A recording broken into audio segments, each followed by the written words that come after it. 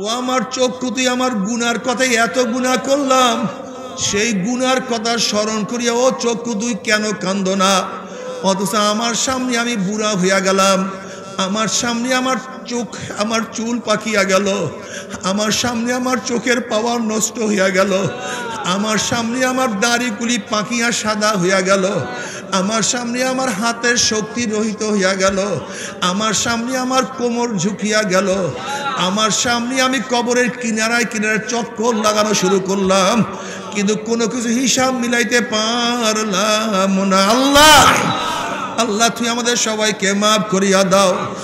জনাব মুহাম্মদ রসুল্লাহ সাল্লাহ আলী আসাল্লাম আল্লাহর কাছে দোয়া করে আল্লাহুম্মার জুকনি আইন আইনে তাবকিয়ান মিন খসিয়াতিকা কবলা আইয়া কুনা দামু দামান। মাওলাহি, তুমি আমাকে এমন দুইটা চক্ষু দান করো যেই চক্ষু তোমার বয়ে সব সময় কাঁদতে থাকবে, ওই দিন কান্নার আগে যেই দিন চোখের পানি শেষ হয়ে অনর্গল রক্ত বাহির হওয়া শুরু হয়ে যাবে। নবী ফরমান মজার না ফরমান, কাঁদতে চোখের পানি শেষ হয়ে যাবে। এরপরে চোখের থেকে রক্ত বাহির হওয়া শুরু হবে। এই পানি এবং রক্ত পড়তে পড়তে গালের চামড়া গোস্তগুলি পচিয়া বচিয়া পড়িয়া যাবে। চোখের নিচে বিশাল বিশাল গর্ত হইয়া যাবে। আজকে দুনিয়ার মধ্যে এক ফোঁটা চোখের পানিও তোমার জন্য আমার জন্য। জাহান্নাম হারাম হওয়ার কারণ হইতে পারে। নবী আলাই সালাম ফরমান, মান বাকা মিন খসিয়াতিল্লাহি হারামাল্লাহু তিলকাল আইন আলান্নার যে ব্যক্তি মাওলার বয়ে জাহান্নামের বয়ে কাঁদবে তার উপরে আমার মাওলা জাহান্নামের এখন হারাম করিয়া দিবে। আজকে দুনিয়ার মধ্যে এক ফোঁটা চোখের পানিও তোমার জন্য, আমার জন্য জাহান নাম হারাম হওয়ার কারণ হইতে পারে।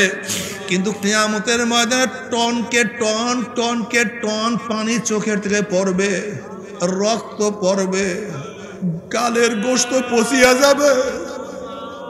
কিন্তু আর কোনো কাজ হবে না। টনকে টন পানি পড়তে থাকবে। কিন্তু আর কোনো লাভ নাই, কোনো ফায়দা নাই। আর কোনো লাভ নাই, আর কোনো ফায়দা নাই রে বাবা। কিন্তু আজকে দুনিয়ার মধ্যে দিয়ে এক ফোঁটা চোখের পানি ফলাইতে পারো, আর আমার মাওলা যদি কবুল করিয়া নেন ওই এক ফোঁটা চোখের উসলে, পানির উসলে মাওলা তোমাকে আমাকে মাফ করিয়া দিবে, আল্লাহ। আল্লাহ, তুমি কবুল করিয়া নাও। এরপরে মাওলায় কাউকে জান্নাত, কাউকে জাহান্নামের ফয়সালা দিয়া দিবে। জান্নাতি লোকেরা আমার জাহান্নামের লোকেরা জান্নাতি লোকদের দেখতে পারবে। আমার ডাকিয়া কি বলবে তাও মাওলা কালামে পাঁচ মধ্যে আগে শোনায় দিছে। ওয়ানাদা আসহাবুন নারে আসহাবাল জান্নাহ আফিদু আলাইনা মিনাল মাই আও মিম্মা রাযাকাকুমুল্লাহ জাহান্নামীরা জান্নাতি লোকদের ডাকিয়া বলবে, আব্দুল্লাহ, এ আব্দুর রহমান, এ রহিমা খাতুন, ওরে আবদুল্লাহ, তুই না আমার গেটের দারোয়ান ছিলি। ওরে আব্দুর রহমান, তুই না আমার গাড়ির ড্রাইভার ছিলি। ওরে রহিমা খাতুন, তুই না আমার কাজের বুয়া ছিলি।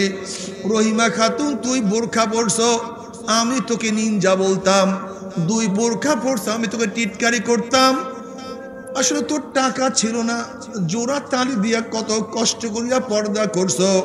আর আমি হাজার হাজার টাকার মালিক হওয়া সত্ত্বেও বোরখা তো পরেই নাই যারা বোরখা পড়ছে তাদেরকে কত টিটকারি ফাইজলামি করতাম। ওরে রহিমা খাতুন, তুই এত গরিব হয়ে এক অক্ত নামাজ ছাড়তি না। আর আমি বড় লোক হইয়া পশ্চিম দিকে মাথাও দিতাম না, ঠেকাইতাম না। তুই আমার মাওলাকে নিয়ে সবসময় থাকতি আর আমি দুনিয়ার গুনার মধ্যে ডুবিয়া থাকতাম। এই মার্কেটে এই গুনাই এই গুনাই সেই গুনা রহিমা খাতুন আজকে মাওলা তোদেরকে জান্নাত দিয়া দিছে। আর আমি জাহান নামে চলে আসছি। ওরে আবদুল্লাহ, তুই না আমার গাড়ির ড্রাইভার ছিলি।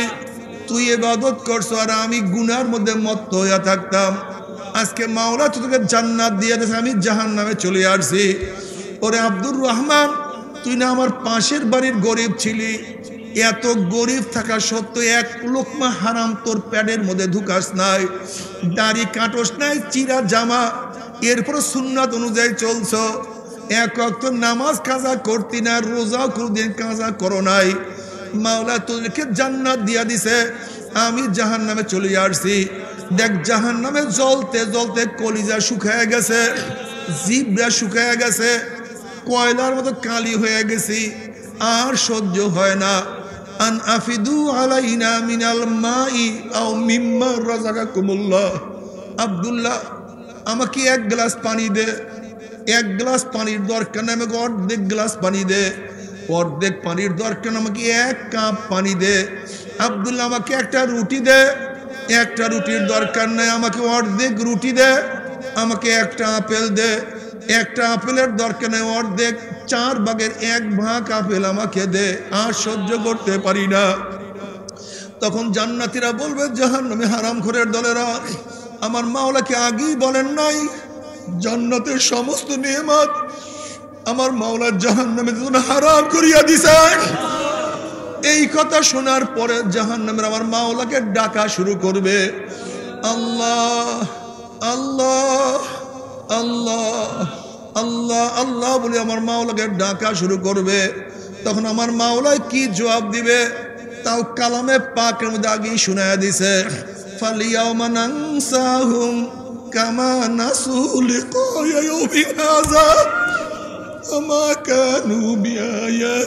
ইয়াজহাদুন। এ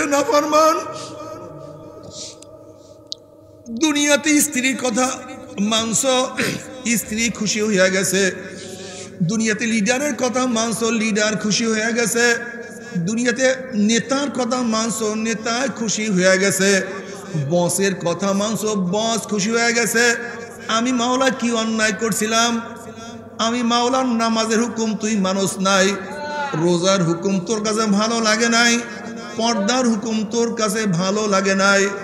তুই তোর বাবাকে বাবা খুইয়ার ডাক দিছ তোর বাবা খুশি হয়ে গেছে তোর মাকে তুই মা বলিয়া ডাক দিছ তোর মার কলিটা ভরিয়া গেছে তোর আপুকে আপু বলিয়া ডাক দিছ তোর আপু খুশি হইয়া গেছে আমি মাওলা কি অন্যায় করছিলাম আমি মাওলাকে তুই আল্লাহ বলিয়া ডাকতে পারো না فاليوم ننساهم كما نسوا لقاء يومهم هذا যেরকম দুনিয়ায় বসে আমি মাওলাকে ভুলিয়া গেছিলি, আজকে আমি মাওলায় তোদেরকে ভুলিয়া গেলাম। এখন হাজার হাজার, লক্ষ লক্ষ বছর পর আমি মাওলাকে ডাকবি। আমি মাওলায় আর কোনোদিন তোদের ডাকে সারা দিব না। আল্লাহ! সাকর একটা জাহান্নামের নাম। সাকর। কিসের নাম ভাই? সাকর নামীয় জাহান নামে থেকে প্রশ্ন করা হবে কপালপুরা বদনসিব। এই কঠিন জাহান নামে তোদেরকে কোন জিনিসে নিয়ে আসছে? এখানে আসছো কেন? এত কঠিন জায়গা? যেরকম দেখবেন জেলখানে কোনো মানুষ যদি যায়, কোনো আসামি যায়, জেলার বা যারা জেলে আসে তারা প্রশ্ন ভাই, কি হয়েছে আসছেন কেন? এরকম বলে না? আসছেন কেন? কি হয়েছে ভাই? কি কাজ করছেন? কি অন্যায় হয়েছে কি? তখন সে বলে, এই কারণ। ঠিক জাহান নামে কোন জিনিসে তোমাদেরকে নিয়ে এসছে এই সাকার নামে, জাহান নামে, এখানে কেউ আসে না, খুব মারাত্মক জায়গা। অলু জাহান্নামীরা বলবে লামনাকুম নাল মুসাল্লিন, দুনিয়া তোমার মুসল্লি ছিলাম না, নামাজ পড়তাম না। স্পষ্ট করে না আয়াত, নামাজ না পড়া জাহান নামে যাওয়ার কারণ। আচ্ছা যেই ব্যক্তির বিশ্বাস, নামাজ না পড়লে জাহান নামে যাব, আমাকে বলেন তো, সে ব্যক্তি নামাজ কাজা করতে পারে? কাজা করে কেন? কথা বলেন। ওই যে ভাবছে এটা দুই নাম্বার সাপ, এটা এক নাম্বার সাপ না। এই যে হুজুর রাজা বলে জাহান নাম তাহার নাম এগুলি কিচ্ছু না। এগুলি মৌলবাদীদের বানানো কেসা কাহিনী। দেখেন, আমি যদি আজকে সারা রাত্র কালীর ফজিলাত বয়ান করি, কালী পূজা করলে এই সোয়াব ওই সোয়াব এই সোয়াব কালী পূজা না করলে এই ক্ষতি, ওই ক্ষতি আগামীকাল ফজরের পর কে কি কালী পূজা করবেন? কেন? কারণটা কি? এত ফজিলাত বয়ান করলাম, এত উপকার বয়ান করলাম, এত ক্ষতি বয়ান করলাম। কালী পূজা করবেন না কেন? কি নাই? বিশ্বাস নেই। তাহলে কালী পূজা পরে বিশ্বাস আগে। কালী পূজা বিশ্বাস? যার বিশ্বাস আছে কালীর প্রতি, সে কালী পূজা করে। যার নাই সে করে না। ঠিক কোরআন ও হাদিসের প্রতি যাদের ইমান আছে, তারা এবাদত করে। যাদের ইমান নাই, তারা এবাদত করে না। আপনি ভাবছেন, লোকটা নামাজ পড়ে না কেন? আসলে মূল তো নামাজে গন্ডগোল না। মূল ভিতর ইমানে গন্ডগোল। গন্ডগোল তো ইমানের মধ্যে, বিশ্বাসের মধ্যে। যার বিশ্বাস যেই তফকার, তার আমল সেই তফকার। যার বিশ্বাস যত গাঢ়, গভীর শক্তিশালী শক্তিশালী? তার আমল তত শক্তিশালী। আজকে দেখেন, আমরা নামাজ পড়ি না। জনাব মোহাম্মদ রসুল্লাহ সাল্লাহ আলী কি বলেছেন? আল ফরকুবাইন আল আব্দু আল কুফর তরকুসলা মোমের এবং কাফের মধ্যে পার্থক্য, মোমের নামাজ পড়ে, কাফের নামাজ নামাজ পড়ে না কারা? নামাজ পড়ে কে? তা তুমি যে নামাজ পড়ো না, তুমি কি? তুমি বলো। আমার ফতুয়া না তো। নবী কি বলেন দেখেন? আল আল আব্দু আল কুফর তরকুসলা আবেদ এবং কাফের মধ্যে পার্থক্য। আবেদ আল্লাহর সামনে দাঁড়ায়, বেঈমানরা সামনে দাঁড়ায় না। আবেদ আল্লাহর সামনে নত হয়, রুকু দেয়। বেঈমানরা রুকু দেয় না।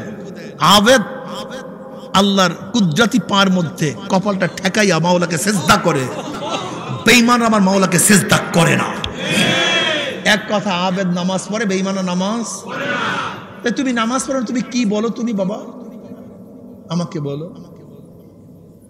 ইমান ইমান, ইমানের ত্রুটি আর কিচ্ছু না। দেখো, যারা আমরা বিশ্বাস করি দুনিয়া কিছু না, কয়েকদিনের জিন্দিগি, স্বপ্নের এক জিন্দিগি দুনিয়াতে থাকার জন্য আসি নেই। আসছি আখেরাত কামাই করার জন্য। আর দুনিয়া মাজরাতুল আখেরা। তারা তো আখেরাতকে ভুলে না। এক সেকেন্ডের জন্য ভুলে না। সব সময় খেয়াল, আখেরাত আখেরাত। চক্ষু তাকাবার আগে চিন্তা করে, কোন দিকে তাকাবো, কোন দিকে তাকাবো না। বলার আগে চিন্তা করে, কি বলব কি বলব না। হাত বাড়াবার আগে চিন্তা করে, হালাল না হারাম, উচিত কি উচিত না। কথা বলার আগে চিন্তা করে। এটা বৈধ কি? বৈধ না। পাও বাড়াবার আগে চিন্তা করে, যাব কি?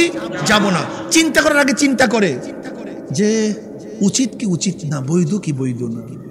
যেহেতু যেহেতু কেয়ামতের ময়দানে সব কিছুর জবাব দিতে হবে। মা তাফআলুন সব লিখে ফেলাইতেছে। লা ইউগাদিরু সাগীরাতান ওয়ালা কাবীরাতান ইল্লা আহসাহা। ছোট বড়, জানা অজানা, মনে নাই আসে যা কিছু করছি, অন্ধকার রাত্রে আর দিনের মধ্যে, বাগানের মধ্যে আর রুমের মধ্যে, যা কিছু করছি, সব কিছু রেকর্ড হয়ে যাইতেছে। সব কিছু সব কিছু। কাজে আমাকে কি করা উচিত?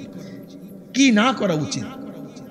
কিন্তু ইমান নাই, ইমান একেবারে দুর্বল হয়ে গেছে, সব দুনিয়া দুনিয়া। জনাব মোহাম্মদ রসুল্লাহ সাল্লাহ আলী আসলাম আসছেন কিসের জন্য? কিসের জন্য আসছেন? দুনিয়াতে মুক্তি, আখরাতে শান্তি দেওয়ার জন্য তিনি এত দুনিয়া আসছেন।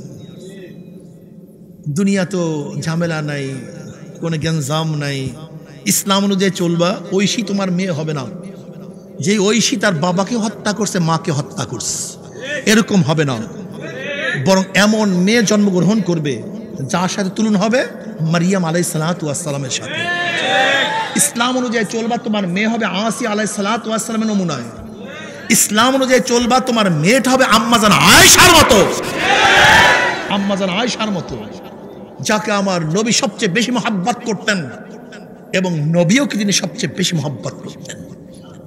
যে মুহাদ্দিসা ছিলেন ফকি ছিলেন, আবেদা ছিলেন সলিয়াহা ছিলেন বহুত বড় জ্ঞানী, মেধাবী ছিলেন আম্মাজান আয়েশা সিদ্দিক রাদিয়াল্লাহু তাআলা আনহা। যদি ইসলাম অনুযায়ী চলো, তোমার মেয়েটা আম্মাজানের মতো হবে। আম্মাজান খাজিল কুবরা রাদিয়াল্লাহু তাআলার মতো হবে। আর ইসলাম অনুযায়ী চলবে না, ঐশী হবে, ঐশী। শয়তান হবে, বদমাশ হবে। ওই মেয়ে তোমার জাহান নামে যাওয়ার কারণ হবে। তোমার মেয়ে তোমার জাহান নামে যাওয়ার কারণ হবে।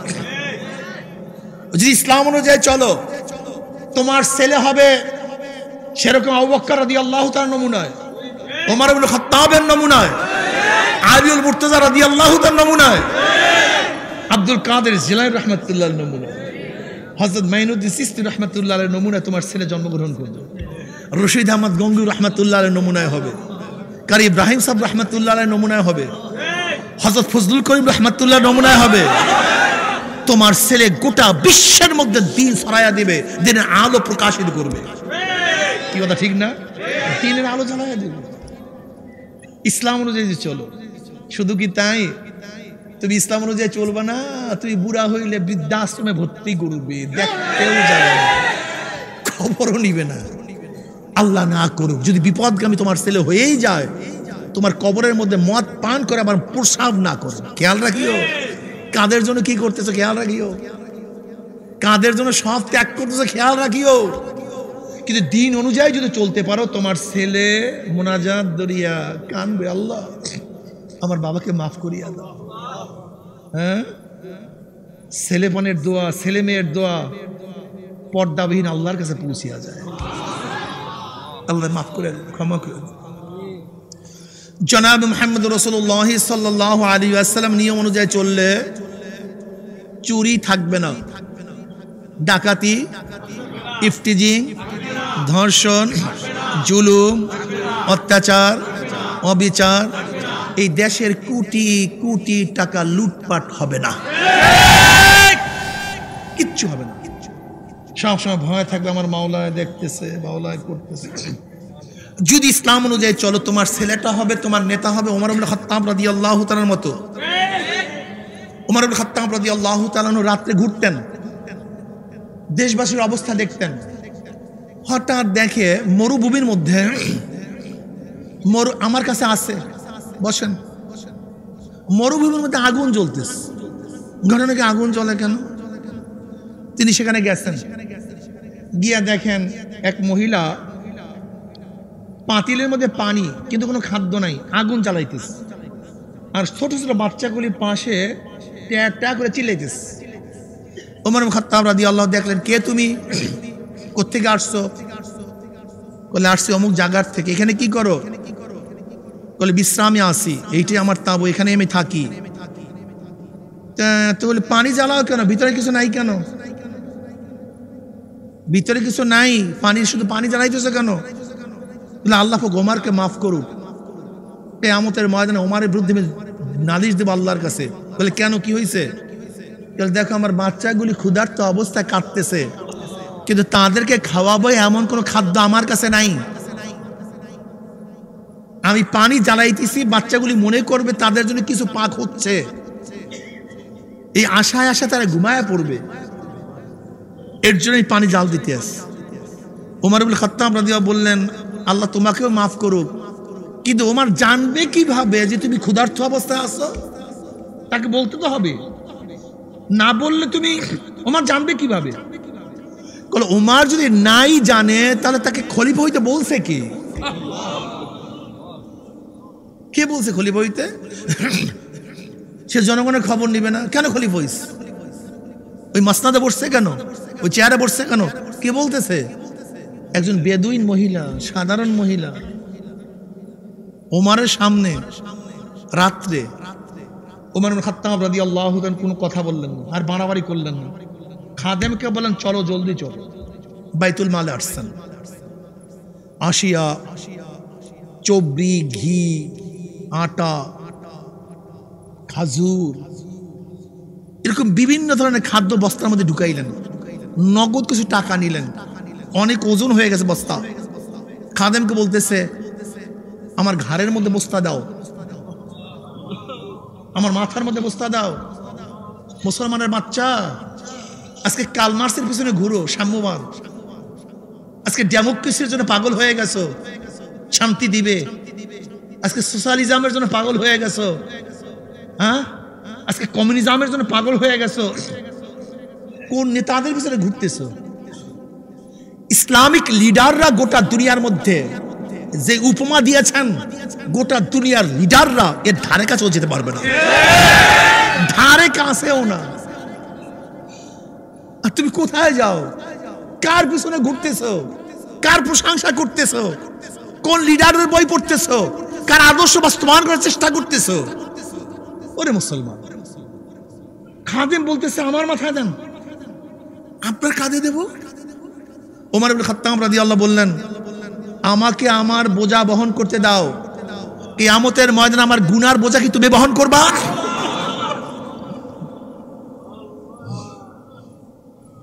وأما من خاف مقام ربه ونهى النفس عن الهوى فإن الجنة هي المأوى মাওলার ভয় ছাড়া কিচ্ছু হয় না আমাকে বোঝা বহন করতে দাও যদি এই বোঝা বহনের কারণে আল্লাহ আমার কেয়ামতের ময়দানে গুণা মাফ করে দেন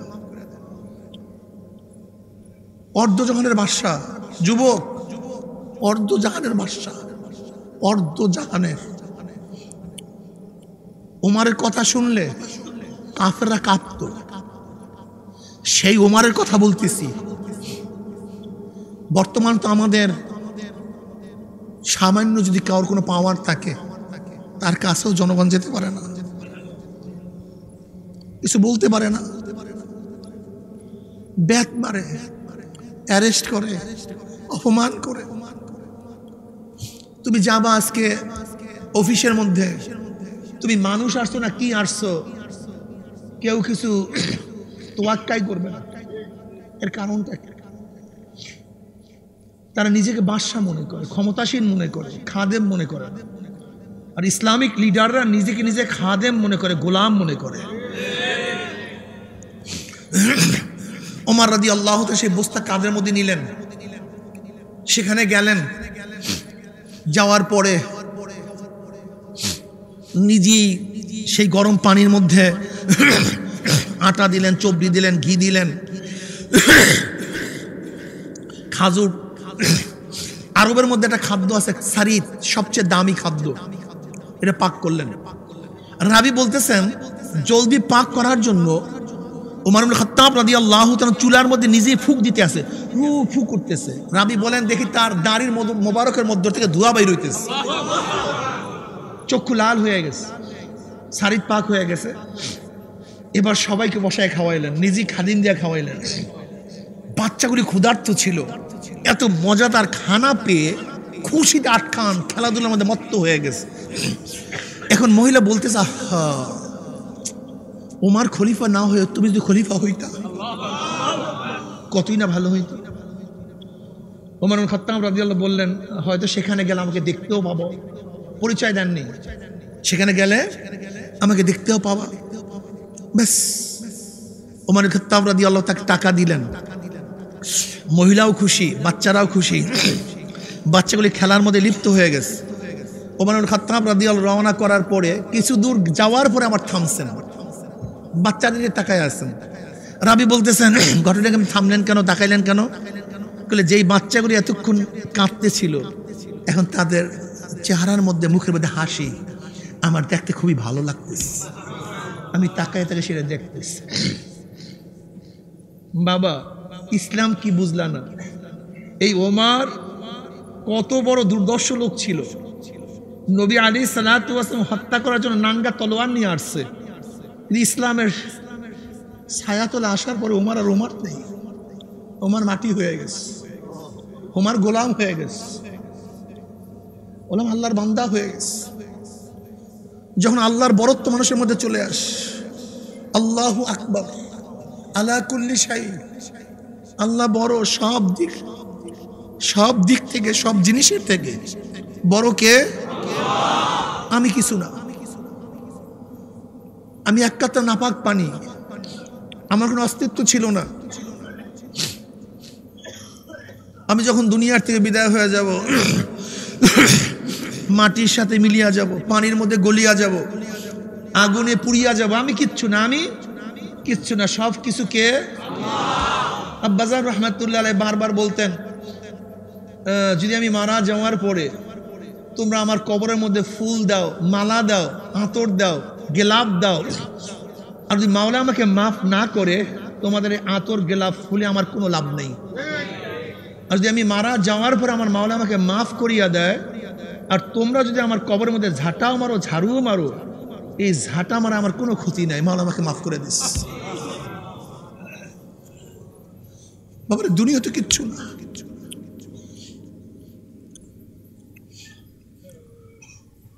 ফাসাও ফাতারা ইজিন কাশাফাল গুবারো আফারাসান আম দুনিয়া কিছু না। যেরকম ঘোড়ার উপরে যদি কেউ সওয়ার হয়, তাকে খুবই দামি ব্যক্তি মনে হয়। এক ব্যক্তি অন্ধকার রাত্রের মধ্যে গাদার উপরে সবার হইয়া সে দাবি করে, আমি ঘোড়ার উপরে আসি ঘোড়ার উপরে আসি কিন্তু যেই ব্যক্তি চিনিয়া ফেলাইছে, যে এ তো ঘোড়ার উপরে না গাদার উপরে, সে ডাক দিয়ে বসে সওয়ারি তুমি তো আরাম আয়েস করতে আসো নিজেকে গর্বিত মনে করতে আসো আমি ঘোড়ার উপরে আসি রাত্র পরিষ্কার হয়ে যাক, তখন তুমি দেখতে পারবা তুমি ঘোড়ার উপরে না গাদার উপরে। বাবার, আজকে দুনিয়ার তালুকদারি, মাতুকবাড়ি, সর্দারি, টাকা, পয়সা আজকে বিল্ডিং, গাড়ি, বাড়ি নিয়ে যেন আনন্দ ফুর্তির মধ্যে চলে আসছি। আনন্দ ফুর্তির মধ্যে লিপ্ত হয়ে আসি আসলে যখনই মৃত্যু আসার খেয়া পড়িয়া যাব, তখন বুঝবা তুমি কোন অবস্থায় আছো। আল্লাহ, তুই আমাদের সবাইকে মাফ করিয়া দাও। এ আমার যুবক বাবারা, মুরব্বী বাবারা, পর্দার মা বোনেরা, যদি মাওলাকে রাজি, খুশি করিয়া মাওলার কবরে যাইতেই পারো মৃত্যুর বিছানায় শুইতেই পারো। কামিয়াব কামিয়াব। আল্লাহ পাকের মোমেন বান্দা বান্দি যখন মৃত্যুর আসার খেয়া পড়িয়া যাবে, আল্লাহ ডাক দিয়ে ফেরেস্তারে আমার বান্দা, আমার বান্দি, এত সাধনা করে কোন জান্নাত কামাই করছে? খবরদার ওই জান্নাত খানা না দেখাইয়া রুহটাকে কবজ করিস না।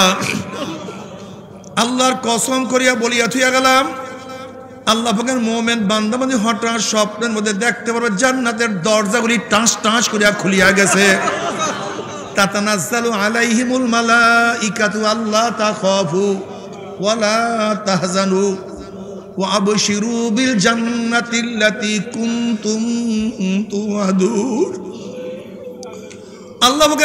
বান্দাবান্দি দেখবে জান্নাতের দরজাগুলি টাস টাস করিয়া খুলিয়া গেছে। জান্নাতের হুর গেলমানরা জাওয়াহেরের মালা নিয়া দাঁড়ায় রইছে। বলবে, আল্লাহ তা খাফুয়ালা তাহাজানু। কোনো ভয় নাই, কোনো চিন্তা নাই, কোনো প্রেশানি নাই। ফজরের সময় গোসল ফরজ, প্রচণ্ড ঠান্ডা, গরম পানির ব্যবস্থা নাই। এই ঠান্ডার মধ্যে গোসল করিয়া মাওলাকে সেজদা দিয়া, কোন জান্নাত কামাই করছ? ওই যে দেখো সেই জান্নাত প্রচণ্ড কাজ, দুপুরের সময় বেচা কিনারও ভিড়, না, দোকান বন্ধ করিয়া মাওলাকে সেজদা দিয়া কোন জান্নাত কামাই করছ? ওই যে দেখো সেই জান্নাত। সাথীরা সবাই খেলার মধ্যে মত্ত, না, তুমি খেলায় যাও নাই, আগে আসরের নামাজ পড়ব। তারপরে সাথীদেরকে বাদ দিয়া মাওলার সামনে যুবক দাঁড়িয়ে কোন জান্নাত কামাই করছ? ওই যে দেখো সেই জান্নাত। মাগরিবের নামাজ পড়িয়া মাওলাকে মাওলাকে সেজদা দিয়া কোন জান্নাত কামাই করছ? ওই যে দেখো সেই জান্নাত। না ঘুমাই এসার নামাজ পড়ছো? নামাজ পড়িয়া কোন জান্নাত কামাই করছ? ওই যে দেখো সেই জান্নাত। স্কুলে দাড়ি রাখার কারণে উস্তাদ পিটান দিছে। ছাত্ররা দাঁড়ি দুনিয়া টানা হেসরা করছে।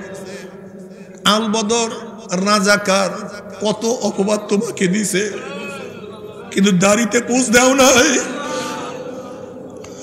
দাড়ি রাখার কারণে স্ত্রী চলিয়া গেছে। কিন্তু স্ত্রী যায় যাক, কিন্তু নবীর সুন্নাতের মধ্যে পোষ দিতে পারব না। এই দাড়ি রাখিয়া কোন জান্নাত কামাই করছ? ওই যে দেখো সেই জান্নাত। হে মহিলা, তোমাকে এত সুন্দর মাওলায় বানাইছে, কিন্তু বিপর্দ অবস্থায় রাস্তায় বের হও নাই মাওলার ভয়ে। এই মাওলার ভয়ে পর্দা করিয়া কোন জান্নাত কামাই করছ? ওই যে সেই জান্নাত। হালাল হারাম তমিজ করিয়া কোন জান্নাত কামাই করছ? ওই যে দেখো সেই জান্নাত। দুনিয়ার ক্ষমতার পাগল না হইয়া, ইসলামের পাগল হইয়া কোন জান্নাত কামাই করছ? ওই যে দেখো সেই জান্নাত। ওই জান্নাত দেখার সাথে সাথে আল্লাহ পাকের মোমেন বান্দা বান্দির। রুহু পাগলের মতো জান্নাত থেকে দৌড় মারবে। কখন যে শরীরের থেকে রুহ বাইর হইয়া যাইবে। আল্লাহ পাকের মোমেন বান্দা বান্ধব কোনো কিছু টেরও করতে পারবে না। আল্লাহ আল্লাহ তুমি কবুল করিয়া নাও। বাবারে, কৃষক বহুত কষ্ট করিয়া কৃষি কাজ করে, কিন্তু ভালো ফসল দেখার সাথে সাথে মুহূর্তের মধ্যে কষ্ট ভুলিয়া যায়। পরীক্ষার আগে কত কষ্ট করিয়া ছাত্র পড়াশোনা করে। ভালো রেজাল্ট শোনার সাথে সাথে মুহূর্তের মধ্যে সমস্ত কষ্ট ভুলিয়া যায়। মা তো বাচ্চা প্রসাব করার সময় মনে হয় যেন কেয়ামত দেখিয়া ফেলাইছে। জীবন বের হয়ে যাবে। এত কষ্ট। কিন্তু বাচ্চার চেহারার দেখার সাথে সাথে মুহূর্তের মধ্যে কষ্ট ভুলিয়া যায়। আজকে যারা কষ্ট করিয়া জান্নাত কামাই করো। আজকে যারা সাধনা করিয়া জান্নাত কামাই করো, আল্লাহর কসম করিয়া বলিয়া থুইয়া গেলাম, এক নজর জান্নাত দেখার সাথে সাথে মুহূর্তের মধ্যে সমস্ত কষ্ট ভুলিয়া যাবা। কখন কোন মুহূর্তের জান্নাত থেকে রুহ দৌড় মারবে তেরো করতে পারবে না। আল্লাহ তুমি কবুল করিয়া নাও। আল্লাহ তুমি কবুল করিয়া নাও। কবরের মধ্যে যাওয়ার সাথে সাথে কবরটা জান্নাতের বাগিচা হইয়া যাবে। যত দূর তাকাবা তত দূর ফাঁকা হইয়া যাবে। আল্লাহ তুমি কবল করিয়া নাও। জান্নাতের সুরাক হইয়া যাবে। জান্নাতের নাচ নেমে গোটা কবরটা ভরিয়া যাবে। আল্লাহ তুমি কবল করিয়া নাও। এরপর আল্লাহ আলামিন কিয়ামতের ময়দানে আরও সে নিচে নিজে ডাকিয়া ডাকিয়া জায়গা করিয়া দিবে। আমার নবী নিজের হাত মোবারকে হাউজে কাউসারে পানি পান করাইয়া দেবে। বুখারি শরীফ রওয়ায়াত মান সারে মাল্লাম মিয়াজ মাবাদা যে ব্যক্তি এক পেয়ালা হাউজে কাউসারের পানি পান করবে, পঞ্চাশ হাজার বছরের মধ্যে আর কোনোদিন পানি পেশার লাগবে না। আল্লাহ তুমি কবুল করিয়া নাও। নবী আলাইসালাম পুসরাতের কিনারায় দাঁড়ানো থাকবে, তার উম্মাত্রা পাড়ি দিয়া মাওলার জান্নাতে চলিয়া যাবে। আল্লাহ তুমি কবুল করিয়া নাও। জান্নাতে যাওয়ার পরে আল্লাহ পাক বলবে জান্নাতের আমি তোমাদের সাথে যে ওয়াদা করছি, সেই ওয়াদাকে পালন করছি নাকি? তখন জান্নাতের বলে মাওলার তুমি যা ওয়াদা করছ, তার সে হাজার হাজার কোটি কোটি গুণ বেশি পেয়ে গেছি। কিন্তু একটা ওয়াদা এখনও পালন করো নাই। তখন আল্লাহ পাক বলবে, হে ফেরেস্তার আমি ওয়াদা করছিলাম, জান্নাতের মধ্যে আমার বান্দাদের সাথে দেখা করব। যদি এখনও দেখা করি নাই এ ফেরেস্তারা নূরের পর্দা সরাইয়া দে। যখন সত্তর হাজার নূরের পর্দা সরাইয়া দেওয়া হবে, প্রত্যেকটা জান্নাতি ভিড়া ভিড়ি ধাক্কা ধাক্কে তোমার মাওলাকে দেখিয়া বলাইবে। আমার মাওলা এত সুন্দর, আমার মাওলা এত আকর্ষণীয়। মাওলাকে দেখার সাথে সাথে সবাই সেজদার মধ্যে পড়িয়া যাবে। এক সেজদা চল্লিশ হাজার বছর কাটিয়া যাবে, এক দুই দিন না, চল্লিশ হাজার বছর কাটিয়া যাবে। কিন্তু মাওলার দিদার আর হুশ থাকবে না। মাওলার দিদারই পড়িয়া থাকবে চল্লিশ হাজার বছর।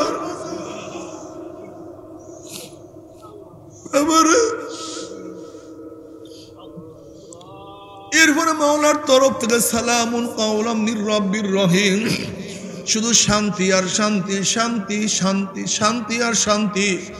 অশান্তি কি জিনিস? আর কোনোদিন দেখা লাগবে না। আল্লাহ তুমি মাফ করিয়া দাও। বাবারে, জান্নাত কেমন আর জাহান্নাম কেমন? এক হাদিসের দ্বারা বুঝতে পারবা। নবী আলাইসালাম ফরমান, এক ব্যক্তি দুনিয়া চির সুখী। দুঃখ কি জিনিস কোনোদিন দেখে নাই? শান্তি আর শান্তি, সুখ আর সুখ। কিন্তু কপাল পরা জাহান নামের ফয়সালা হইয়া যাবে। জাহান নামের ফয়সালা হইয়া যাবে। যখন ওই নাফারমানকে এক ঝলক জাহান নাম দেখানো হবে, এরপর তাকে প্রশ্ন করা হবে, তুমি দুনিয়ার মধ্যে কি পরিমাণে সুখ করছ? তখন মাওলাকে বলবে, মাওলা, তোমার জাতে পাকের কসম খেয়ে বলতে আসি, আমি দুনিয়ার মধ্যে এক সেকেন্ডের জন্য কোনোদিন সুখ করি নাই, দুঃখ করি নাই। অর্থাৎ জাহান নামের কষ্টে এত মারাত্মক। তাদের সাথে দুনিয়ার সমস্ত সুখ শান্তি ভুলিয়া যাবে।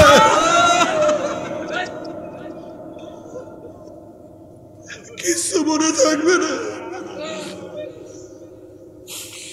নবী আলাইসালাম ফরমান, দুনিয়ার মধ্যে এক চির দুঃখী যে সুখ শান্তি কি জিনিস কোনোদিন করে নাই। শুধু অশান্তি আর দুঃখ আর দুঃখ, কষ্ট আর কষ্ট। কিন্তু আল্লাহ পাকের শুকুর সেই ব্যক্তির জাহান নামের ফয়সালা হইয়া যাবে। জাহান নাম এক ঝলক দেখার পরেই তাকে প্রশ্ন করা হবে, তুমি দুনিয়ার মধ্যে কি পরিমাণের কষ্ট করছ, দুঃখ করছ?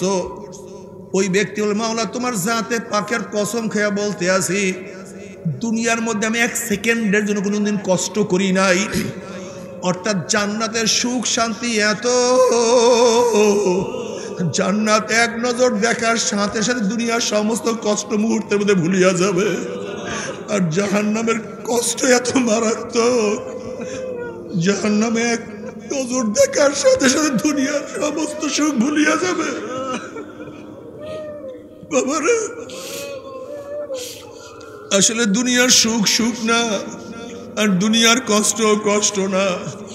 জান্নাতের সুখ অরিজিনাল সুখ আর জাহান নামের দুঃখ সবচেয়ে মারাত্মক দুঃখ।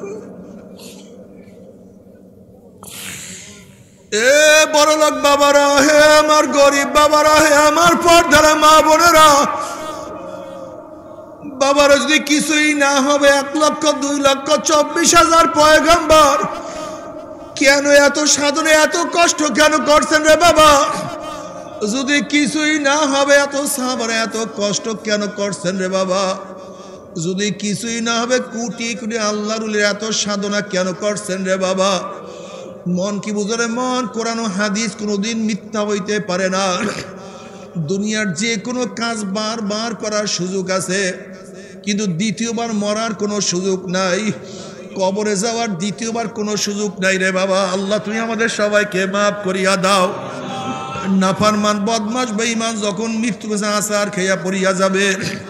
আল্লাহ পাক ডাক দেও নাফারমান, এত সুখ, শান্তি গুণা করিয়া কোন জাহান নাম কামাই করে খবরদার ওই জাহান নাম খানা না দেখাইয়া রুহটাকে কবজ করিস না। আল্লাহ, তুই আমাদের সবাইকে মাফ করিয়া দাও। নাফারমান যখনই জাহান নাম দেখবে, রুহটা থর থর থর থর করে কাঁপতে থাকবে। রুহ আর বাইর হতে চাইবে না। তিনশো ষাটটা মোকামি রুহটা দৌড়াদৌড়ি করতে থাকবে। আজরাইল আলাই সালাম গুসা হইয়া বলবেন, খবিজ, এতদিন মাওলার হুকুম নামাজ পড়তে ভালো লাগে নাই। মাওলার হুকুম রোজা পালন করতে তোর কাছে ভালো লাগে নাই। পর্দা পছন্দ করো নাই। হালাল হারাম তমিজ করিয়া খাস নাই। জিকিরাজ কার মজাই তো লাগে নাই। সুন্নাত তোর চোখের মধ্যে পছন্দ হয় নাই। সুন্নাত তোর কাছে ভালো লাগে নাই। খ্রিস্টান ইয়াহুদিদের মতো সাজতে তোর কাছে ভালো লাগছে। বড় বড় লুচ্চা নায়কদের ডিজাইনে চুল কাটতে ভালো লাগছে। বড় বড় খ্রিস্টান এবং নাস্তিকদের অনুযায়ী তোর পোশাক বানাইতে ভালো লাগছে। কিন্তু মদিনাওয়ালা অনুযায়ী পোশাক বানাইতে তোর কাছে ভালো লাগে নাই। আমার মদিনাওয়ালা কি দোষ করছিল? আমার নবী কি অন্যায় করছিল? আমার নবীর সাজে সজ্জিত হও নাই। আমার নবীর সাজে মাথাকে সাজাও নাই, চেহারা সাজাও নাই। আমার নবীর সাজে পোশাক সাজাও নাই, ঘর সাজাও নাই, মেয়েকে সাজাও নাই। আমার নবী অনুযায়ী ছেলেকে সাজাও নাই, ব্যবসা প্রতিষ্ঠান সাজাও নাই, দলকেও সাজাও নাই। নেতাকেও আমার নবী অনুযায়ী মানো নাই। ওরে না ফারমান। আজকে পারলে তোদেরকে কেউ রাখুক, আজকে কেউ তোকে ফিরাউক, আজকে আর ফিরাইতে পারবে না, আজকে আর না মানিয়ে উপায় নাই, আজকে আর ভাবতেও পারবি না। অলাউ কুন্তুম ফি বুরুজিম মুসাইয়াদা কোথায় ভাগবি? আকাশের বুরুজের মধ্যে আমার আজরাইল হাজির হয়ে যাবে। সাত তবক জমিনের মোসের নিচেও আমার মাওলানা আজরাইল হাজির হয়ে যাবে। লোহার সুন্দুকের মধ্যে পালাইয়া গেলেও সেখানে আমার মাওলানা আজরাইল হাজির হয়ে যাবে। নাফারমান বদমাসের রুডা থর করে কাঁপতে থাকবে। তিনশো ষাটটা মোকামের রুডা দৌড়াদৌড়ি করতে থাকবে। করুন দৃষ্টি আজরাইলের দিকে তাকাইয়া থাকবে, মনে চাইবে না বের হইতে। আজরাইল আলাহ সাল্লাম গোসা হইয়া রুডার উপরে এমন থাবা মারবে। থাবার চলে কলিজার রক বলি সিরিয়া সিরিয়া নিয়া যাইবে। ও বড় লোক বাবা যদি ওপেন হার্ট সার্জারি করো কিডনি পরিবর্তন করো, রক্ত চেঞ্জ করো, না, মাওলা রাজনার থেকে তোমাকে আমাকে আর কেউ রক্ষা করতে পারবে না। আল্লাহ আল্লাহ তুই আমাদের সবাইকে মাফ করিয়া দাও। এখন বলতে পারো, হুজুর, টুপি রাখতে, দাড়ি রাখতে, নামাজ পড়তে কত কষ্ট। না বাবা, সব নফস এবং শয়তানের ধোকা। যদি কষ্টই হবে তোমার ছোট ভাই কেন এবাদত করে? তুমি কেন পারো না? তুমি তো টেনে পড়ো। তুমি কিন্তু এখন নাইনের কত ছেলেরা আমার মাওলার পাগল। তুমি বড় ক্লাসে পড়ার পরে তুমি কেন পারবা না? তুমি তো নাইনে পড়ো। তুমি কি দেখো না এইটের কত ছেলেরা আমার মাওলার পাগল। তুমি নাইনে পড়িয়া কেন পারবা না? হে বাবা, তুমি কেন পারবা না? তোমার ছেলেও তো আমার মাওলার পাগল। তুমি বাবা হইয়া কেন পারবা না? হে দাদা, হে নানা, তুমি কেন পারবা না? অথচ তোমার নাতি আমার মাওলার পাগল। তোমার তোমার নাতি আমার মদিনাওয়ালার পাগল। তোমার নারীর তোমার নাতির চেহারার সাথে মদিনাওয়ালার সাপ পড়িয়া গেছে। তোমার নাতির মাথার মধ্যে মদিনাওয়ালার সাপ পড়িয়া গেছে। তোমার নাতির শরীরের মধ্যে মদিনাওয়ালার পোশাক শোভা পাওয়া ধরছে। তোমার নাতির সব জায়গায় শূন্য তুমি কেন দাদা নানা হইয়া পারবা না? আসলে সব নফস এবং শয়তানের ধোকা অন্য কিছু না রে বাবা। এ মা, তুমি কেন পারবা না? অথচ তোমার মেয়ে আমার মাওলার পাগল। হে গরিব, কেন পারবে না? তোমার চেয়ে কত গরিব আমার মাওলার পাগল। হে অসুস্থ, তুমি কেন পারবা না? আইয়ুব নবীন আলাহ সালাম। আঠারো বছর অসুস্থ। এক মুহূর্তে আমার মাওলাকে ভোলে নাই। তুমি কেন পারবা না? বাদ দাও তুমি নবী আইয়ুব আলাহ সালাম। তুমি এই দেশের মধ্যে দেখো কত অসুস্থ আমার মাওলার পাগল। তুমি কেন পারবা না? এ বড় লোক তোমার চেয়ে কত বড় লোক আমার মাওলার পাগল। তুমি কেন পারবা না? হে বাদশাহ, তুমি কেন পারবা না? জুল কর নাই। বাদশাহ সেকান্দার গোটা দুনিয়ার বাদশাহ ছিল। কিন্তু এক মুহূর্তে তোমার মাওলাকে ভরে নাই, তুমি কেন পারবা না? ওমর খত্তাব রাদিয়াল্লাহু অর্ধ জাহানের বাদশাহ ছিলেন। এক মুহূর্তে আমার মাওলাকে ভুলে নাই, তুমি কেন পারবা না?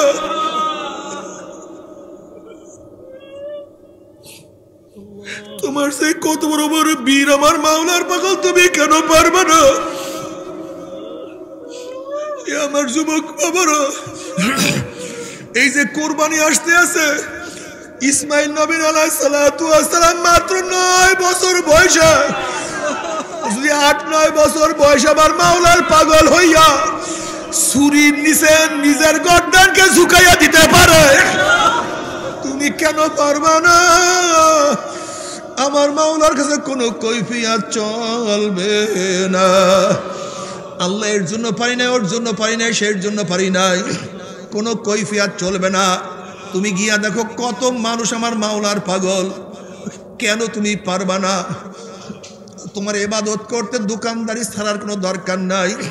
তোমার এবাদত করতে তোমার ব্যবসা ছাড়ার কোনো দরকার নাই। তোমার এবাদত ছাড়তে পড়াশোনার, এবাদত করতে পড়াশোনার ছাড়ার কোনো দরকার নাই। বরং সব কিছু করবা, কিন্তু আমার মাওলার হুকুম অনুযায়ী চলবা। যদি মাওলার হুকুম অনুযায়ী চলতেই পারো, আর কোনো প্রেশানি নাই নাই কোনো ভয়, নাই কোনো চিন্তা।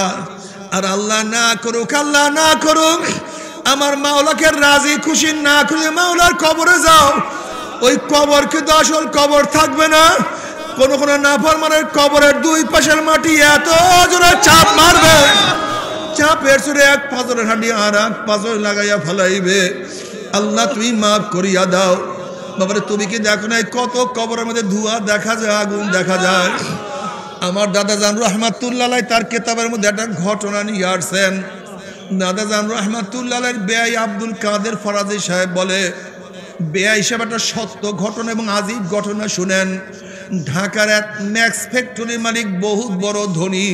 সারাদিন টাকা টাকা পয়সা নিয়ে ব্যস্ত থাকতো। নামাজ রোজার কাছেও যাইতো না। ওই ব্যক্তি মারা যাওয়ার পরে তাকে দাপন করিয়া যখন আমরা সবাই চলে আসলাম, তার ছেলে বলতেছে, আমার এক হাজার টাকার একটা চেক পুড়িয়া গেছে। এই মাত্রই তো মাটি দিলাম, চেকটাকে নষ্ট করিয়া কি লাভ?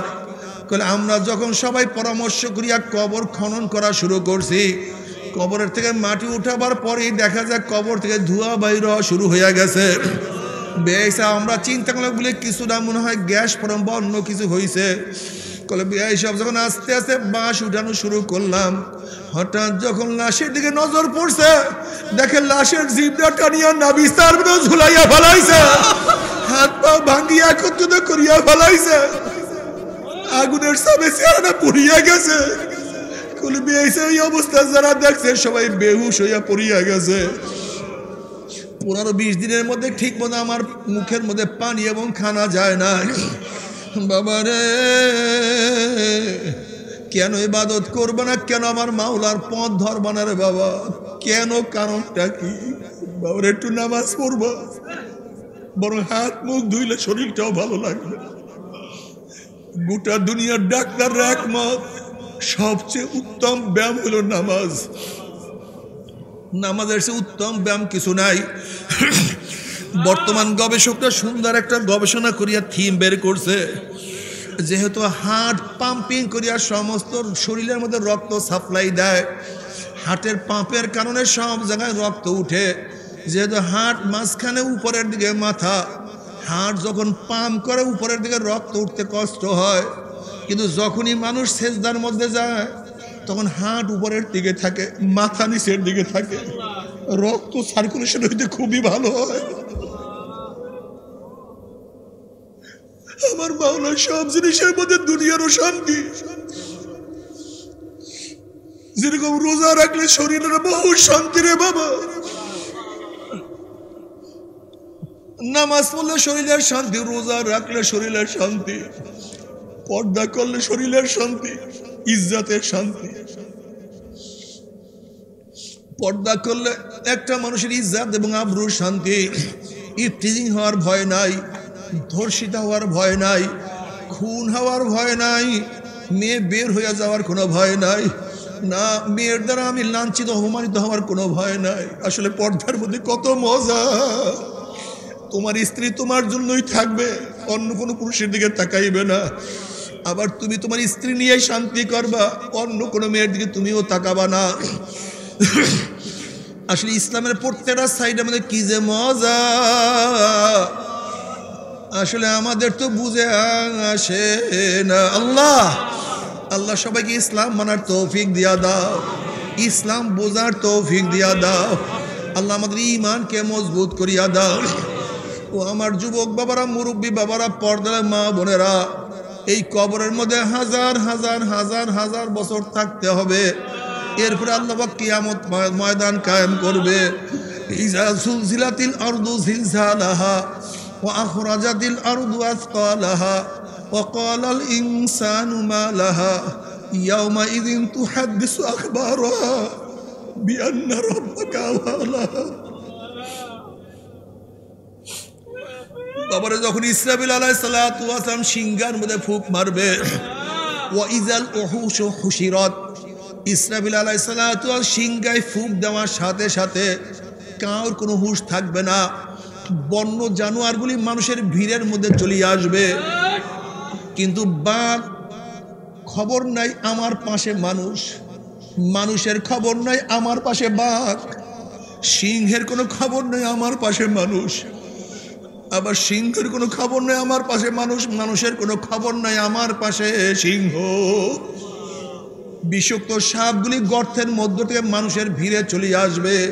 ওয়াইদাল ওহুস হুসিরত যখন বন্য পনোয়ার, জানোয়ারগুলি সব মানুষের ভিড়ে চলে আসবে, সিংহায় ফুক দেওয়ার সাথে সাথে মাটির মধ্যে কম্পন সৃষ্টি হয়ে যাবে।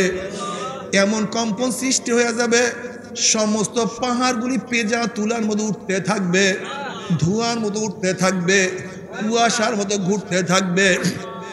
মাটির মধ্য থেকে মাটি মানুষগুলিকে ফিকিয়া ফিকিয়া কিয়ামতের ময়দানে মারতে থাকবে। ফিকিয়া ফিকিয়া মানুষগুলিকে কিয়ামতের ময়দানে মাটি মারতে থাকবে। মানুষ বলবে, কি হইল আমাকে আরামের জায়গা থেকে কে এখানে আনলো? আমাদেরকে আরামের জায়গা থেকে অথচ কবরের আজাবের বয়ানেই মাত্র করলাম। অথচ কবরের আজাবের চেয়ে শত কোটি কোটি গুণ বেশি আজাব হবে কেয়ামতের ময়দান। যখন কেয়ামতের ময়দানের দৃশ্য দেখবে, কবরের কথা ভুলিয়া যাবে। বলবে, কি হইল আমাদেরকে? কে এখানে নিয়ে আসছে? আল্লাহ, তুমি মাফ করিয়া দাও। নবী আলাইসালাম ফরমান, কিয়ামতের ময়দানে সমস্ত মানুষ উলঙ্গ অবস্থায় উঠবে। আম্মা জানা আয়সা বলছি, ইয়া নবী আল্লাহ, ইয়া রসুল আল্লাহ আমরাও কি কিয়ামতের ময়দান উলঙ্গ অবস্থায় উঠব? নবী বললেন হ্যাঁ তোমরাও কিয়ামতের ময়দান উলঙ্গ অবস্থায় উঠবা। তখন আম্মাজান বলছি, ইয়া নবী আল্লাহ, ইয়া রসুলাল্লাহ, লক্ষ লক্ষ কোটি কোটি মানুষ কিয়ামতের ময়দানে উঠবে। আমরা যদি উলঙ্গ অবস্থায় উঠে, আমাদেরকে লজ্জা লাগবে না সরম লাগবে না।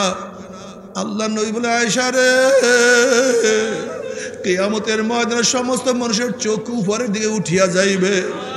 কোন মানুষ তাদের চক্ষু নিচের দিকে নামাইতে পারবে না।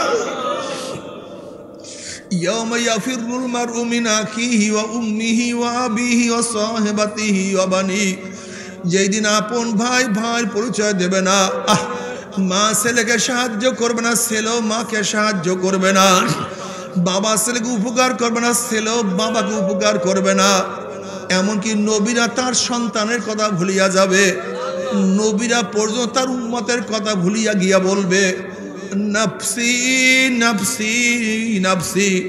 মাওলা, আমাকে বাঁচাও আমাকে বাঁচাও আমাকে বাঁচাও।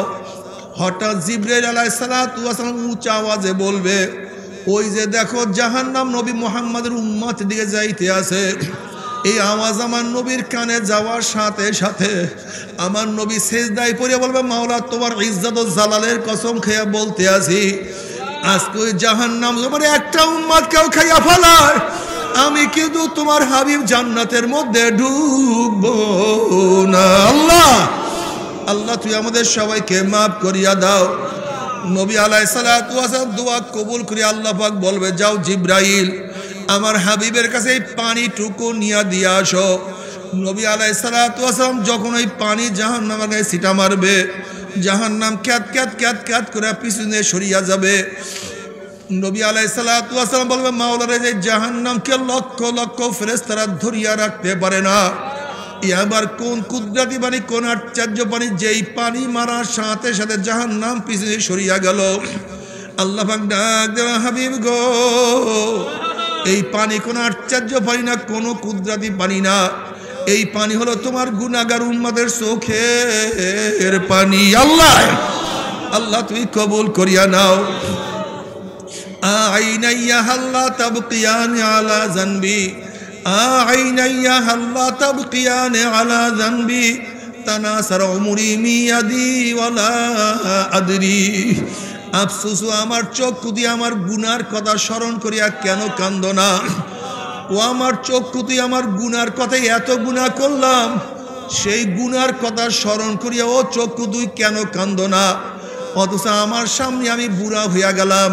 আমার সামনে আমার চোখ, আমার চুল পাকিয়া গেল।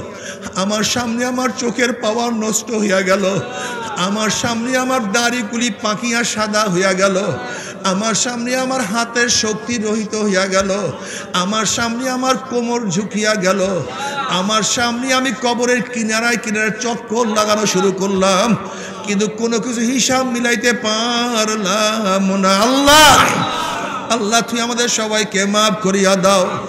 জনাব মুহাম্মদ রসুল্লাহ সাল্লাহ আলী আসাল্লাম আল্লাহর কাছে দোয়া করে আল্লাহুম্মার জুকনি আইনাইনে তাবকিয়ান মিন খসিয়াতিকা কবলা আইয়াকুনা দামুদামান মাওলাহে, তুমি আমাকে এমন দুইটা চক্ষু দান করো, যেই চক্ষু তোমার বয়ে সব সময় কাঁদতে থাকবে। ওই দিন কান্নার আগে যেই দিন চোখের পানি শেষ হয়ে অনর্গল রক্ত বাহির হওয়া শুরু হয়ে যাবে। নবী আলাই সালাম ফরমান আমাদের মজার না ফরমান, কাঁদতে কাঁদতে চোখের পানি শেষ হয়ে যাবে। এরপরে চোখের থেকে রক্ত বাহির হওয়া শুরু হবে। এই পানি এবং রক্ত পড়তে পড়তে গালের চামড়া গোস্তগুলি পচিয়া পচিয়া পড়িয়া যাবে। চোখের নিচে বিশাল বিশাল গর্ত হইয়া যাবে। আজকে দুনিয়ার মধ্যে এক ফোঁটা চোখের পানিও তোমার জন্য আমার জন্য। জাহান্নাম হারাম হওয়ার কারণ হইতে পারে। নবী আলাই ফরমান, মান বাকা মিন খসিয়াতিল্লাহ হারামাল্লাহু তিলকাল আইন আলান্নার যে ব্যক্তি মাওলার বয়ে জাহান্নামের বয়ে কাঁদবে, তার উপরে আমার মাওলা জাহান্নামের এখন হারাম করিয়া দিবে। আজকে দুনিয়ার মধ্যে এক ফোঁটা চোখের পানিও তোমার জন্য আমার জন্য জাহান নাম হারাম হওয়ার কারণ হইতে পারে। কিন্তু কেয়ামতের ময়দানে টনকে টন টনকে টন পানি চোখের থেকে পড়বে, রক্ত পড়বে, গালের গোস্ত পচিয়া যাবে। কিন্তু আর কোনো কাজ হবে না। টনকে টন পানি পড়তে থাকবে, কিন্তু আর কোনো লাভ নাই, কোনো ফায়দা নাই। আর কোনো লাভ নাই, আর কোনো ফায়দা নাই রে বাবা। কিন্তু আজকে দুনিয়ার মধ্যে এক ফোঁটা চোখের পানি ফলাইতে পারো, আর আমার মাওলা যদি কবুল করিয়া নেয়, ওই এক ফোঁটা চোখের উসলে, পানির উসলে মাওলা তোমাকে আমাকে মাফ করিয়া দিবে। আল্লাহ আল্লাহ তুমি কবুল করিয়া নাও। এরপরে মাওলায় কাউকে জান্নাত, কাউকে জাহান্নামের ফয়সালা দিয়া দিবে। জান্নাতি লোকের আবার, জাহান্নামের লোকেরা জান্নাতি লোকদের দেখতে পারবে। আমার ডাকিয়া কি বলবে তাও মাওলা কালামে পাঁচ মধ্যে আগে শোনায় দিছে। ওয়ানাদা আসহাবুন নারে আসহাবাল জান্নাহ, আন আফিদু আলাইনা মিনাল মাই আও মিম্মা রাযাকাকুমুল্লাহ। জাহান্নামীরা জান্নাতি লোকদের ডাকিয়া বলবে, আব্দুল্লাহ, এ আব্দুর রহমান এ রহিমা খাতুন, ওরে আব্দুল্লাহ, তুই না আমার গেটের দারোয়ান ছিলি। ওরে আব্দুর রহমান, তুই না আমার গাড়ির ড্রাইভার ছিলি। ওরে রহিমা খাতুন, তুই না আমার কাজের বুয়া ছিলি। রহিমা খাতুন, তুই বোরখা পড়ছ আমি তোকে নিনজা বলতাম। দুই বোরখা পড়ছ আমি তোকে টিটকারি করতাম। আসলে তোর টাকা ছিল না, জোড়া তালি দিয়া কত কষ্ট করিয়া পর্দা করছ। আর আমি হাজার হাজার টাকার মালিক হওয়া সত্ত্বেও বোরখা তো পরেই নাই যারা বোরখা পড়ছে তাদেরকে কত টিটকারি ফাইজলামি করতাম। ওরে রহিমা খাতুন, তুই এত গরিব হইয়া এক অক্ত নামাজ ছাড়তি না। আর আমি বড় লোক হইয়া পশ্চিম দিকে মাথাও দিতাম না, ঠেকাইতাম না। তুই আমার মাওলাকে নিয়ে সব সময় থাকতি, আর আমি দুনিয়ার গুনার মধ্যে ডুবিয়া থাকতাম। এই মার্কেটে এই গুনাই এই গুনাই সেই গুণা রহিমা খাতুন আজকে মাওলা তোদেরকে জান্নাত দিয়া দিছে। আর আমি জাহান নামে চলে আসছি। ওরে আবদুল্লাহ, তুই না আমার গাড়ির ড্রাইভার ছিলি, তুই এবাদত করছ, আর আমি গুনার মধ্যে মত্ত হইয়া থাকতাম। আজকে মাওলা তোদেরকে জান্নাত দিয়ে দিয়েছে আমি জাহান নামে চলে আসছি। ওরে আব্দুর রহমান, তুই না আমার পাশের বাড়ির গরিব ছিলি এত গরিব থাকা সত্ত্বেও এক লোকমা হারাম তোর প্যাডের মধ্যে ঢুকাস নাই, দাড়ি কাটস নাই, চিরা জামা। এরপর সুন্নাত অনুযায়ী চলছ। এক অক্ত নামাজ কাজা করতি না, রোজাও কোনোদিন কাজা করো নাই। মাওলা তোদেরকে জান্নাত দিয়া দিছে। আমি জাহান নামে চলে আসছি। দেখ জাহান নামে জলতে জ্বলতে কলিজা শুকায় গেছে, জিবরা শুকায় গেছে, কয়লার মতো কালি হয়ে গেছি, আর সহ্য হয় না। আন আফিদু আলাইনা মিনাল মাই আও মিম্মা রাজাকাকুমুল্লাহ আব্দুল্লাহ, আমাকে এক গ্লাস পানি দে? এক গ্লাস পানির দরকার নেই, আমাকে অর্ধেক গ্লাস পানি দে। অর্ধেক পানির দরকার আমাকে এক কাপ পানি দে। আব্দুল্লাহ, আমাকে একটা রুটি দে। একটা রুটির দরকার নেই, আমাকে অর্ধেক রুটি দে। আমাকে একটা আপেল দে। একটা আপেলের দরকার নেই, অর্ধেক চার ভাগের এক ভাগ আপেল আমাকে দে, আর সহ্য করতে পারি না। তখন জান্নাতিরা বলবে জাহান নামে হারাম ঘরের দলেরা, আমার মাওলাকে আগেই বলেন নাই, জান্নাতের সমস্ত নিয়মত আমার মাওলা জাহান নামে হারাম করিয়া দিছে। এই কথা শোনার পরে জাহান নামের আমার মাওলাকে ডাকা শুরু করবে। আল্লাহ আল্লাহ আল্লাহ। আল্লাহ আল্লাহ বলে আমার মাওলাকে ডাকা শুরু করবে। তখন আমার মাওলায় কি জবাব দিবে? তাও কালামে পাকের মধ্যে আগেই শোনায় দিছে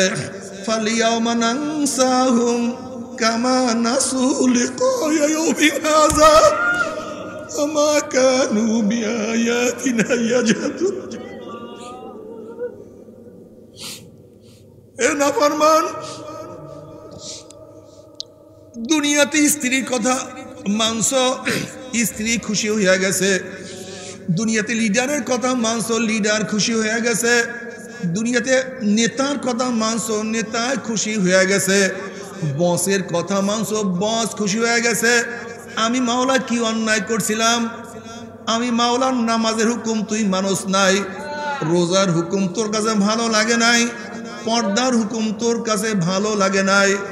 তুই তোর বাবাকে বাবা খুইয়া ডাক দিছ তোর বাবা খুশি হয়ে গেছে তোর মাকে তুই মা বলিয়া ডাক দিছ তোর মার কলিটা ভরিয়া গেছে তোর আপুকে আপু বলিয়া ডাক দিছ তোর আপু খুশি হইয়া গেছে আমি মাওলায় কি অন্যায় করছিলাম আমি মাওলাকে তুই আল্লাহ বলিয়া ডাকতে পারো না فاليوم ننساهم كما نسوا لقاء يومهم هذا যেরকম দুনিয়ায় বসে আমি মাওলাকে ভুলিয়া গেছিলি, আজকে আমি মাওলায় তোদেরকে ভুলিয়া গেলাম।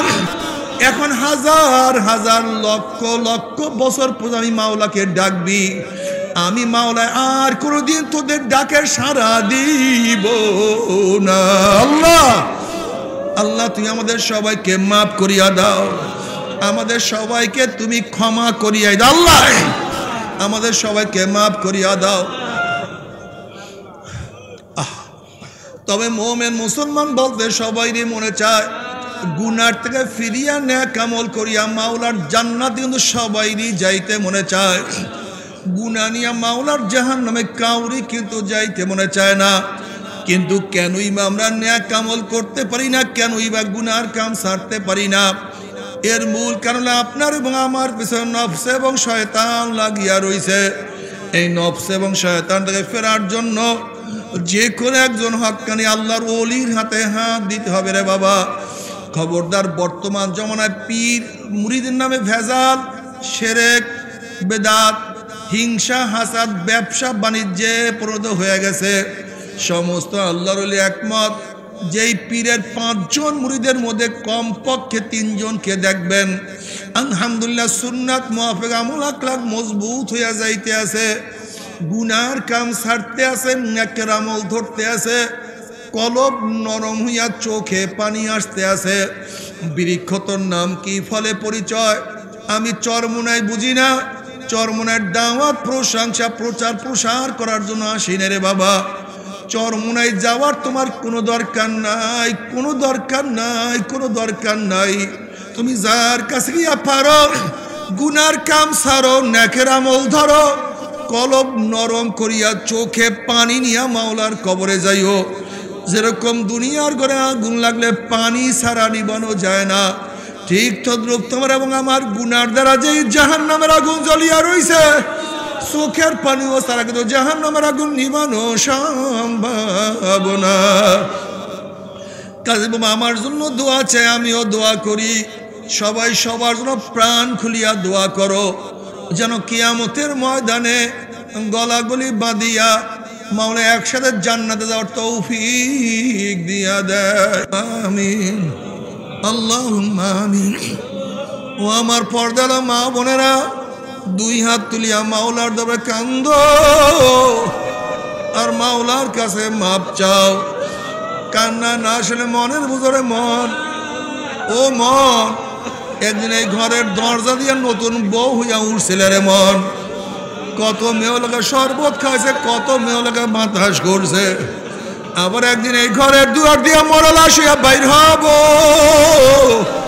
ছেলে কানবে মামা করে, মেয়ে কানবে মামা করে। ওরে মন জবাব তোমার দিব আল্লাহ! আল্লাহ কত আলেম ওলাম দিকে হাত তুললাম রে মাওলা। আল্লাহ কত সাদা দাড়িওয়ালা ভাইদেরকে নিয়ে হাত তুললাম রে মাওলা। আল্লাহ কত বেগুনার না বলে তাল বেলেন ভাইদেরকে নিয়ে হাত তুললাম রে মাওলা। আল্লাহ কত জাকিরি শাকরে তোমার খাস খাস বন্দাদেরকে নিয়ে হাত তুললাম রে মাওলা। আল্লাহ আমি তো গুনাগার আমার দিকে না তাকাইয়া তোমার যেই বন্দার হাত পছন্দ হয় তার উপরে আমাদের সবার গুণাগাতা মাফ করে দাও আল্লাহ। আল্লাহ, তুমি মাফ করবাই না, তুমি ক্ষমা করবাই না। তাহলে তোমার বন্দার এখানে কেন আসছে? কি পাওয়ার জন্য আসছে? কি চাওয়ার জন্য আসছে? আল্লাহ, আমরা দুনিয়া পাওয়ার জন্য আসি নাই। দুনিয়া চাওয়ার জন্য আসি নাই। দুনিয়ার বিপদে পড়িয়াও এখানে আমরা কেউ আসি নাই। আল্লাহ, কেউ নামাজ কাজা করিয়া ফেলাইছি। কেউ রোজা সারিয়া দিছি, কেউ বেপর্দা অপকরের মধ্যে লিপ্ত হইয়া গেছি, কেউ হারাম কবিরা গুনাহ করিয়া ফেলাইছি। আল্লাহ আমরা জাহান নামের কাজ করিয়া ফেলাইছি। আল্লাহ জাহান নামের খাতা থেকে আমাদের নামটা কাটিয়া দাও। আল্লাহ জাহান নামের খাতা থেকে আমাদের নামটা কাটিয়া দাও।